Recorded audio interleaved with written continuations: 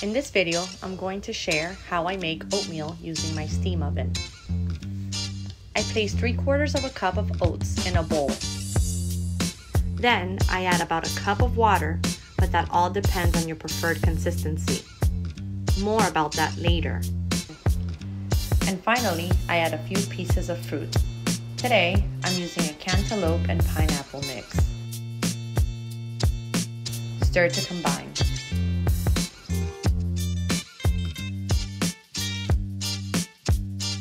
I place a bowl into the steam oven. I cook the oats using the reheat setting on 250 degrees for 8 minutes.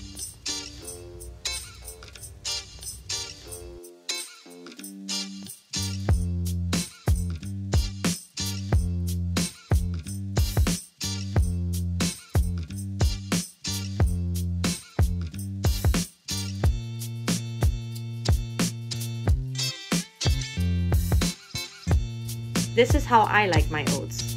But if you prefer a drier consistency, then place back in the steamer for longer or simply use less water when preparing. For runnier oats, just add more water.